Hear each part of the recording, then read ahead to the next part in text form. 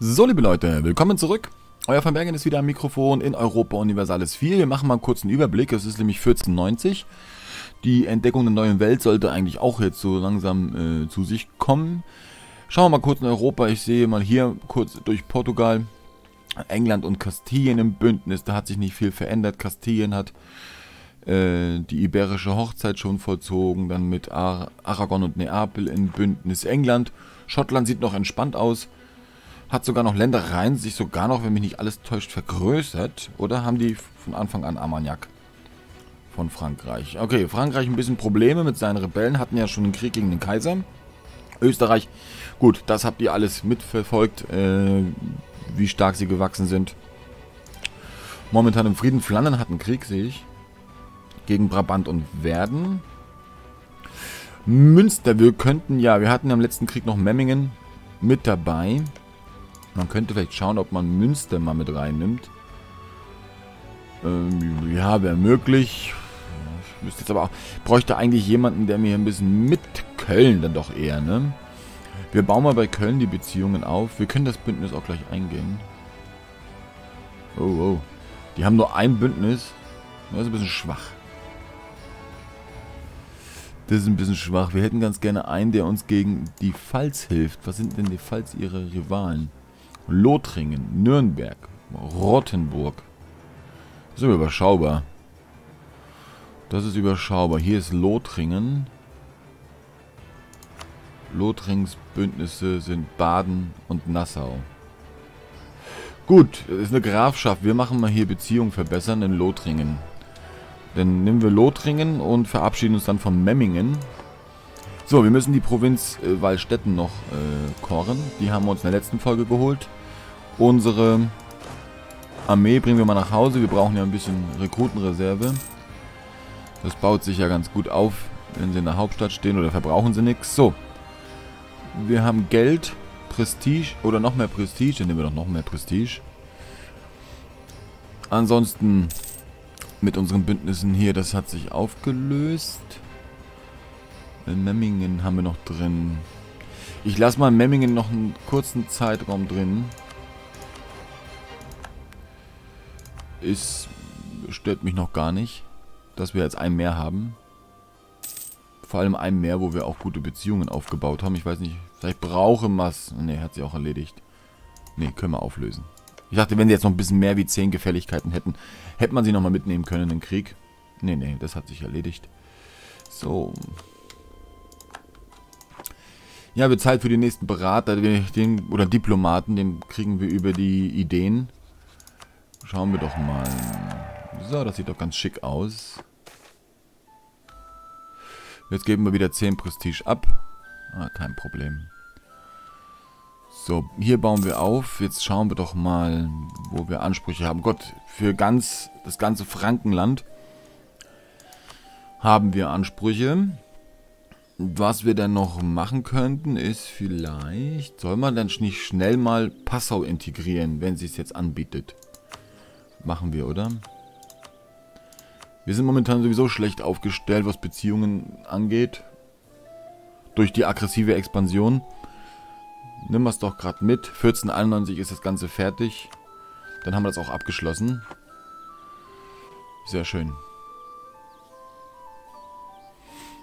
So, ansonsten, hier ein bisschen Rebellen haben wir, aber die sehe ich jetzt nicht so als extrem problematisch. In Salzburg und in Regensburg. Dann stellen wir uns doch mal so auf. Ähm, der Kollege geht nach Regensburg und der geht nach Salzburg. So.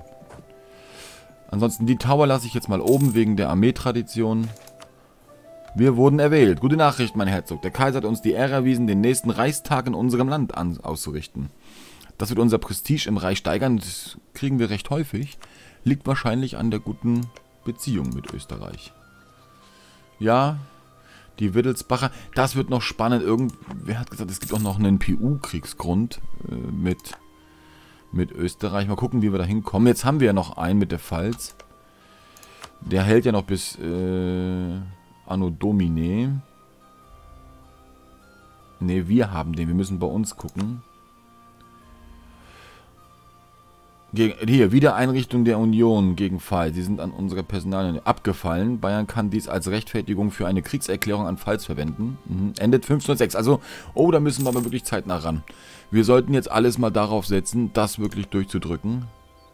Ansbach, Mainz, Trier und Würzburg. Ich glaube, wenn wir einen Krieg führen gegen Ansbach, dass die Pfalz auch, ich weiß nicht, wie lang der Frieden dann ist mit der Pfalz, wir müssen gucken, dass wir das jetzt wirklich zeitnah machen.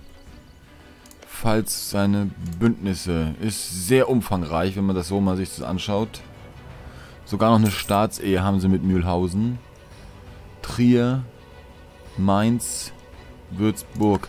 Vielleicht nehmen wir noch einen Vasall, äh, einen Rivalen von der Pfalz mit ins Boot. Wie wäre es denn mit Nürnberg? Wenn sie sich doch, vielleicht machen sie ja mit. Na, oh nee. Nürnbergs Meinung ist so schlecht von uns, ja. Gucken wir nochmal. Lothringen haben wir, Nürnberg, Rothenburg. Das gute Rothenburg, es war hier, habe ich gesagt. Finden wir alles, ne? Finden wir alle. Mühlhausen. Heißt es nicht Rotenburg ob der Tauber? Heißt das nicht so? Ja, ich bin komplett verstrahlt. Und das sagt man, Rotenburg ob der Taube ist doch... Würde ich jetzt hier in Baden-Württemberg ansetzen, aber gut, vielleicht ist es doch nicht. Wo bist du? Da ist es. Passt das? Heidelberg? Rotenburg? Ja, passt ungefähr. Ja, kann sein, ja. Gut. Da gibt es auch, so ein ganz, ganz äh, berühmtes Foltermuseum. Alter, noch eine Reichsreform. Das geht wirklich zügig, ne? Ihr habt recht. Das geht wirklich zügig mit dem Kaiser. Aha. Das geht wirklich Schlag auf Schlag. Ja, ähm, kommt ja... Es ist ja noch Zeit, die... Reformation kommt ja noch. Die wird das Ganze natürlich noch ein bisschen äh, verlangsamen. Interessant, wirklich interessant, wie schnell die das... Die, das macht die KI schon, hat schon vier Reformen. Normalerweise schafft die KI, wenn es gut läuft, zwei. Wenn es gut läuft, schafft die KI 2. Als Spieler schafft man auch maximal 2. Also ich glaube noch nie, noch nie 3. Ich habe auch, ich habe schon sehr häufig gespielt, äh, äh, Österreich vor diesem Patch. Ähm, also da muss es schon brutal gut laufen. Da muss man viel Land haben, was man dem Reich hinzufügen kann. Idealerweise über die äh, Gebiete von Polen, Litauen äh, um wirklich so viel äh, Autorität zu sagen. Und dann muss natürlich Burgund an dich fallen und äh, den Krieg oben in Dänemark musst du auch haben und das vielleicht sogar noch das, äh, das Schattenkönigreich drin behalten, als dass du dann vielleicht zwei, maximal drei Reformen vor der Reformation zusammenkriegst. Aber gut, ich bin auch kein Profi, also kein Hardliner, ne? ganz klar. Aber wie gesagt, das ist jetzt schon sehr auffällig. Gut, beobachten wir weiter. Spannend ist es ja, definitiv. So, macht das Reich natürlich jetzt an und für sich ein bisschen stärker, aber auch die Vasallen, auch Österreich macht es stärker, wenn ich es schon sehe. So, da haben wir es durch. Die müssen wir leider... die müssen wir leider entfernen. Ich muss mich kurz räuspern. Äh, äh, äh. Ja, wir setzen noch einen, einen aus der Kolonie behalte ich hier. Ansonsten brauchen wir eigentlich noch eine Kanone. Also, dass wir zwei Kanonen haben, ne? Da muss ich wirklich ein bisschen mehr aufpassen mit meiner Rekrutenreserve. Da gehe ich zu schlampig um, jetzt im Early Game. Das ist ein bisschen zu schlampig. Brandenburg wäre nicht schlecht. Haben wir auch, die dürften mal mithelfen. So, ein bisschen Geld haben wir. Das würde ich vielleicht dann doch investieren mal.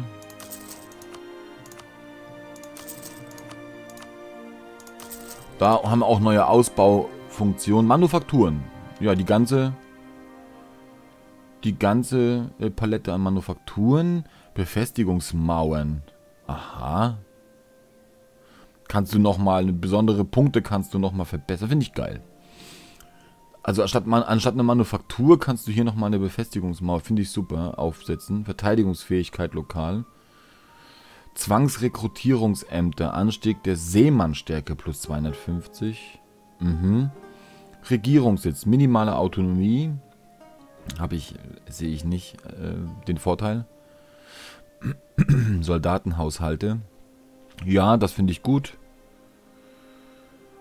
Und Schmelzofen, ja. Okay. Gut, haben wir das. Auch ausgebaut. Jetzt ist die Frage, ne? Kriegen wir das hin mit der, mit, mit, mit, äh, der Pfalz?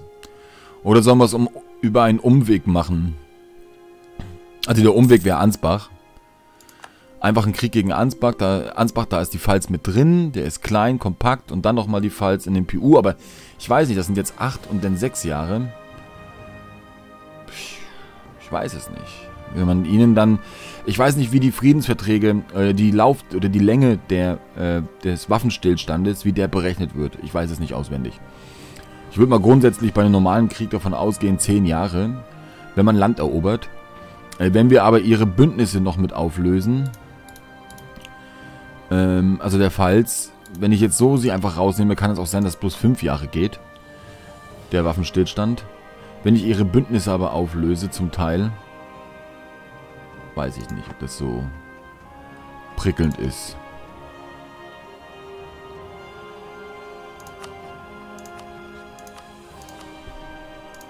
Wir nehmen das eine äh, Bündnis mit Rothenburg noch mit.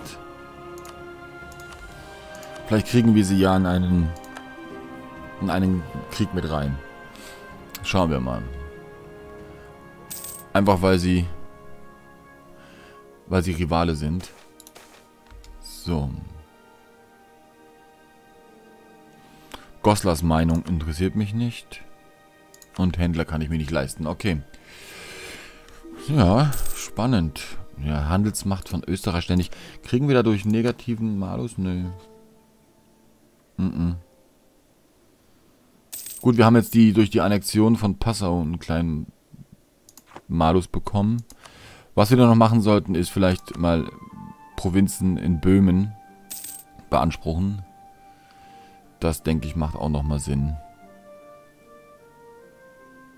So. Ja, kurz warten wir, allein wegen der Rekrutenreserve. Die müssen wir uns schon... Da brauchen wir ein bisschen was. Wir können aber ab und zu mal reinschauen, wer so bei uns mitmacht. Vielleicht kommen wir ja in dieses... In dieses glückliche Verhältnis, dass vielleicht die Pfalz... Wobei ich auch ganz ehrlich sagen muss, ich muss sowieso aufpassen. Ich kann jetzt nicht gleich Krieg führen. Insbesondere, weil... Ähm, wir noch so viel aggressive Expansion haben, dass wir das so wahrscheinlich hier diesen Krieg eh ein bisschen nach hinten schieben müssen. So kurz vor Finale, wenn sie 1506 abläuft, dass wir vielleicht 1504 das machen. Ja, müssen wir so. Wie gesagt, ich traue mich jetzt nicht, diesen Parallelkrieg äh, äh, oder diesen Krieg gegen Ansbach zuvor zu machen, um die Pfälzer Bündnisse aufzulösen, weil ich dann glaube, dass vielleicht ähm, ja, die Waffenruhe über diesen Kriegsgrund hinausgehen würde. Dann nehme ich doch lieber die Option, dass wir gegen ein stärkeres äh, Pfalz und seine Verbündeten kämpfen, als dass wir jetzt, ähm, ja, dann vielleicht sogar einen Stabilitätseinbruch mitnehmen müssten und dann noch mehr aggressive Expansion wegen, der, wegen dem Bruch der Waffenruhe. Das machen wir nicht.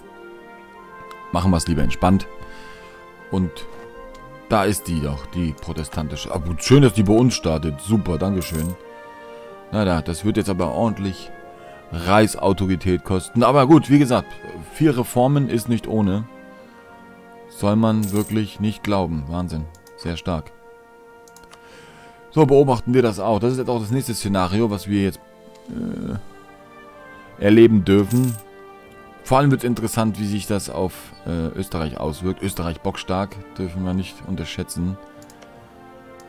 Wen haben sie denn noch als... Ah, eher uns als Verbündete. Und hier unten Provence und Genua. Ja, gut, das sieht zumindest entspannt aus. Ach, der hat viel Anspruch auf französische Provinzen. Wo kommen die denn her? Interessant. Naja. So. Ja, ich würde mich ja eigentlich freuen über den nächsten...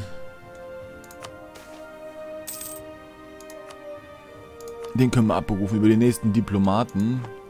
Dann würde ich einmal quer durch die durch die Gegend die Beziehungen verbessern. Das wird jetzt interessant, wenn die ganzen Reichsstädte äh, protestantisch werden. Gut, wir werden es jetzt auch gleich merken. Die Frage ist, wie wir... Oh, hier sieht man Shoppen. Ach cool, hier sieht man, was ich jetzt gerade sehe. Hier sieht man, was ich sehe. Schaut mal, in Ingolstadt sitzt ein Kardinal, in München sitzt ein Kardinal. Kann das sein, wenn ich die Städte oder die Provinzen erobere, wo Kardinäle sitzen, dass ich dann mehr Kardinäle habe? Lass ich mal so stehen. Lass ich mal so stehen. Als Frage dürft ihr gerne... Wow, wow, in Italien ist die Hölle los. Äh, dürft ihr gerne mal reinhauen.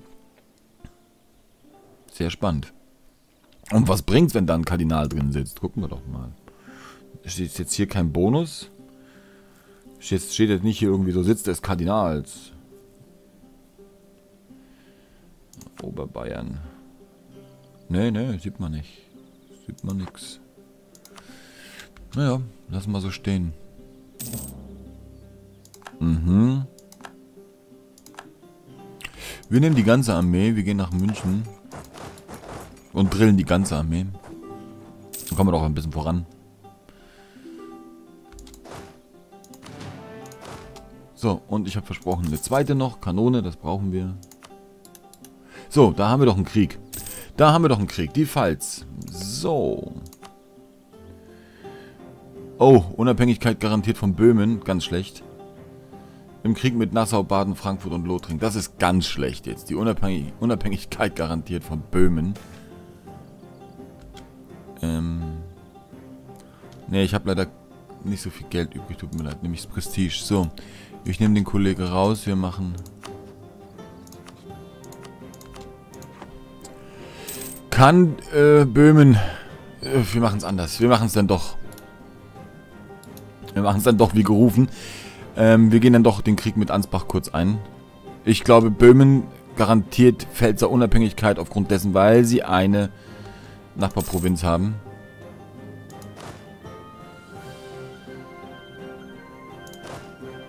Kann das sein? Das ist nämlich jetzt hier tödlich. Ich kann mir das nicht... Können wir nicht. Wir können nicht warten und hoffen, dass Böhmen das mal auflöst.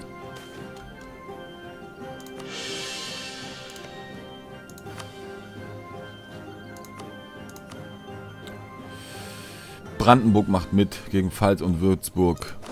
Und Rothenburg wünsche ich das sogar. Wir dürfen ja sowieso nichts nehmen. Wir dürfen ja sowieso nichts nehmen. Das heißt, wir können Rothenburg mal mitziehen in dem Krieg. Durch Landversprechungen.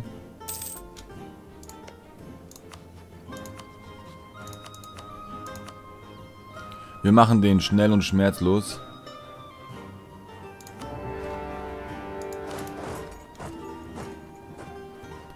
Versuchen den auch mit so wenig Verschleiß wie möglich über die Bühne zu bringen.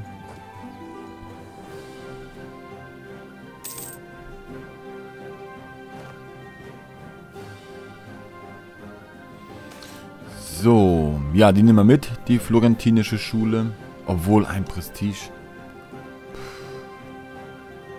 Wir haben so viele, was soll ich... Ja, ich, dies, diesmal spare ich sie mir. Diesmal spare ich sie mir. Ich will mal schauen, ob wir noch Rekruten aufbauen oder abbauen durch die Belagerung. wir bauen ab. Ist eigentlich nicht so prickelnd.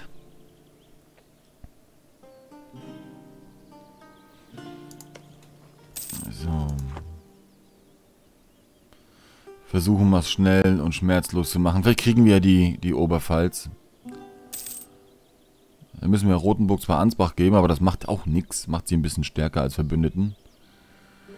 Können wir uns immer noch holen. Ja, das will ich eigentlich nicht. Wo kriege ich Rekrutenreserve her, Leute?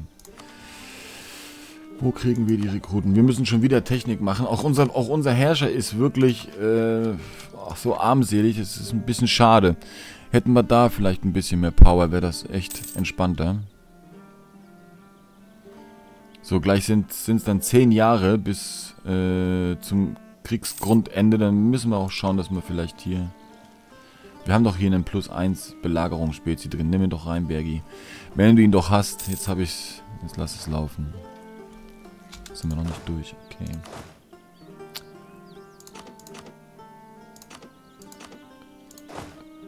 Ja, der muss denn hier rein. So. Jetzt hätte ich auch die Kanone eigentlich nehmen sollen. Also, lassen wir so stehen. Es geht besser, wir wissen's. Jetzt haben wir es aber, oder? Nee, noch nicht. Ich muss wirklich ein bisschen auf. Zu viel will ich nicht nehmen. Ja, wir kriegen das schon. Hat die Falls jetzt zwei Kriege wir noch? Ja. Oh, jetzt haben wir aber wirklich Männer verloren. So, 6, 7.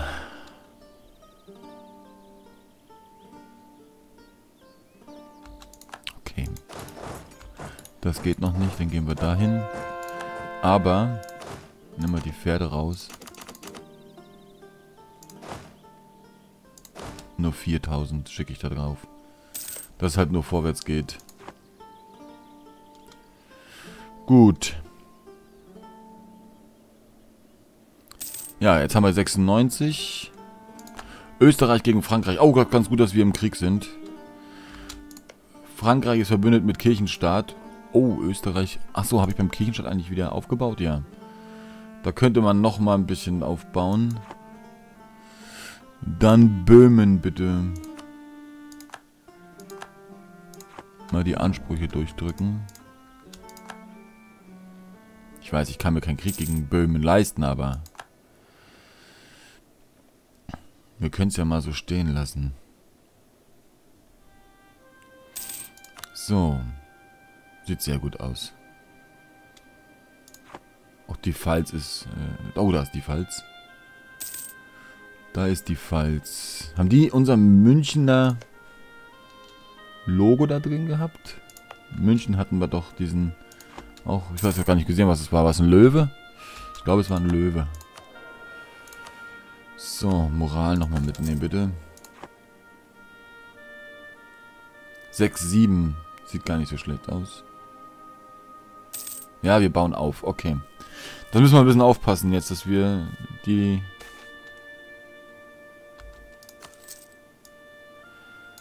So, sehr schick dass wir uns ein bisschen das beibehalten, was wir uns hier aufbauen. An Mannstärke. Dass wir nicht alles herschenken, ne?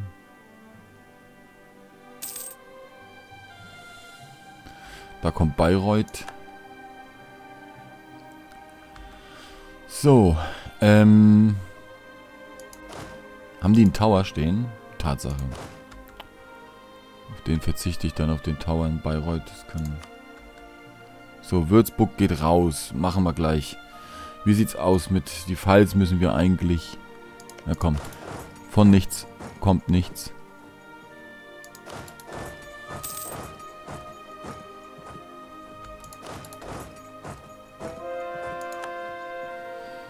Okay.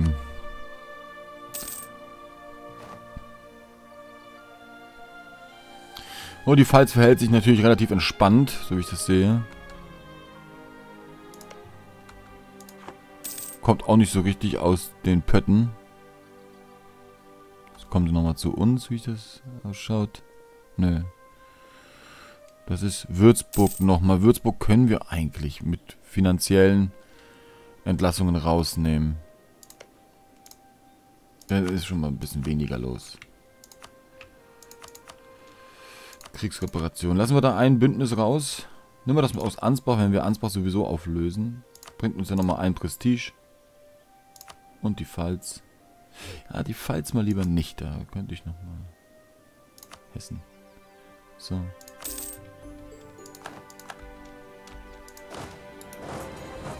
So.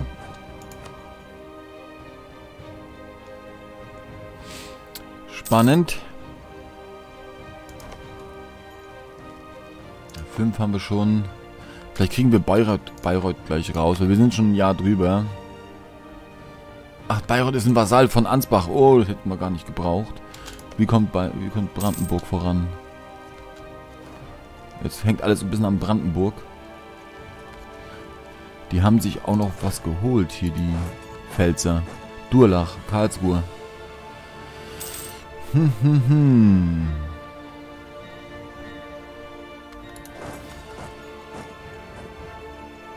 So. Sehr schön.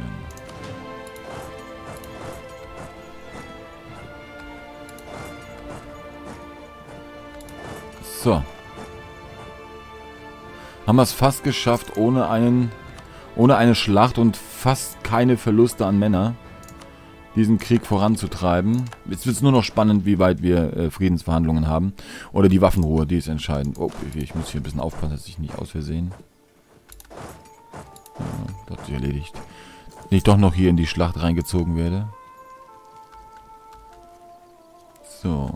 Ja komm, wir stellen uns kurz mit drauf. Die, die 2.000, 3.000 Mann kann ich investieren. Das kann ich leider nicht investieren. Dafür ist Herrscher schwach. So, dann kommen wir hier auch durch. Und dann ist das schick. Okay, falls. Jetzt die große Frage, ne? Hm, hm. Kriege ich sie gleich in die Pew? Ich glaube nicht.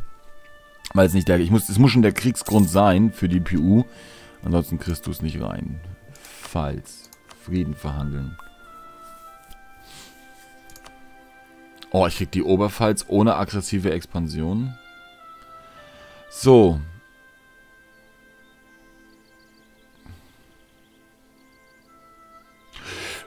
Dieses Abkommen führt zu einem Waffenstillstand bis zum 1. Juni 1505. Perfekt, Leute. Perfekt, da haben wir es doch. Genau das war doch der Plan. Dann lösen wir hier bei dir bitte mal hm, die Starken. Das Mainzer Bündnis löse ich auf. Das Würzburger Bündnis löse ich. Ja, hoffentlich kriegt er keine neuen. Wir gucken mal kurz. Oh, jetzt bis 1507. Ah, hier sieht man. Okay, die Bündnisse müssen wir drin lassen. Erniedrigen können wir sie. Kriegsreparation holen und Geld. Nee. Bis wo geht's? Bis 84, okay. Gut. Keine aggressive Expansion. Ah, einzig, ich glaube, Rotenburg ist ein bisschen sauer dann. Wir gucken gleich. So. Nehmen wir Oberbayern.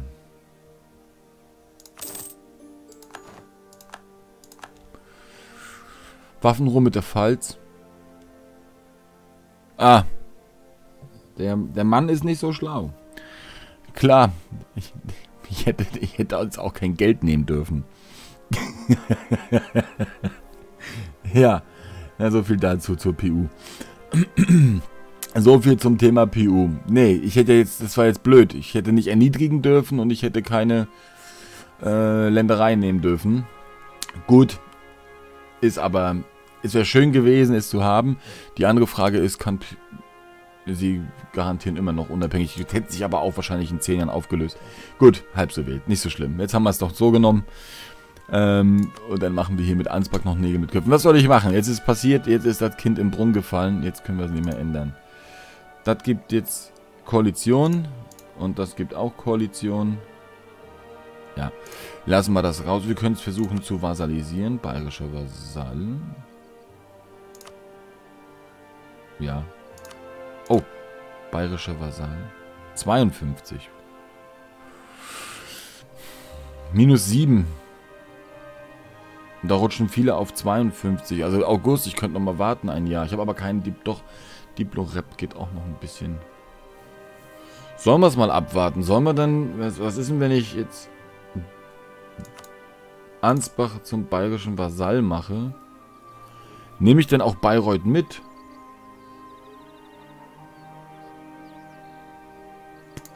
Die große Frage. Wir gucken uns das an. Wir gucken uns das an. Wir gehen mal nach Ingolstadt. Weil die sind ja in der PU. Die müssen ja dann auch zu mir fallen.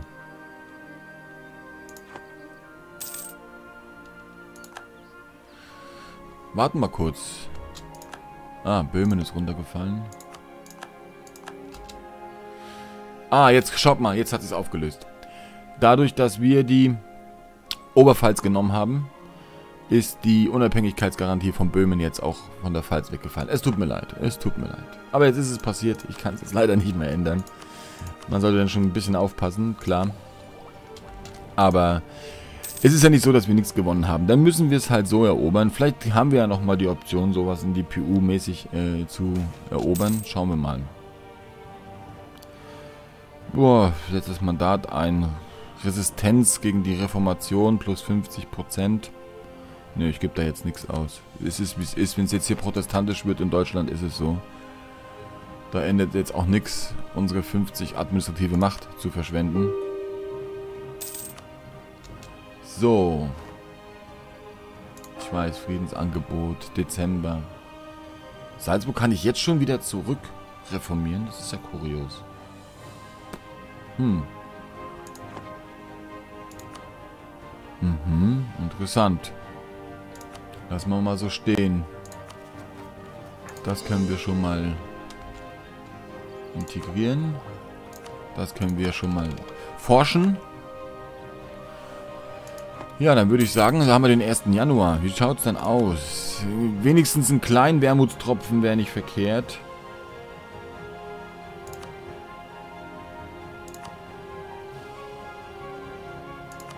So, bayerischer Ansbach wird ein Untertan. Ja, mit den dreien kann ich leben. Dann schauen wir doch mal, es ist ja auch vieles immer so ein bisschen auch äh, immer neu entdecken. Auch wenn man schon tausende Spielstunden in EU4 hat. Gucken wir mal, wie das ist. Ne? Wenn ich mir jetzt... Ich nehme jetzt Ansbach als Vasall. Habe ich denn Bayreuth gleich mit drin? Oder wie ist das? Denk nach Geld.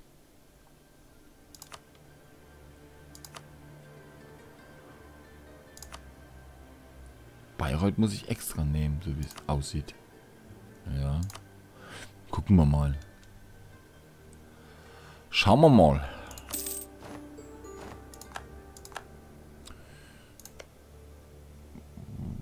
Ja, unabhängig. Alles klar. Und Ansbach ist Vasall. Puh. Puppala. Und gleich der nächste Krieg. Naja, zumindest bloß gegen den Papst. Was soll's. Wir sehen uns in der nächsten Folge. Bis dann, euer Bergi. Ciao, ciao.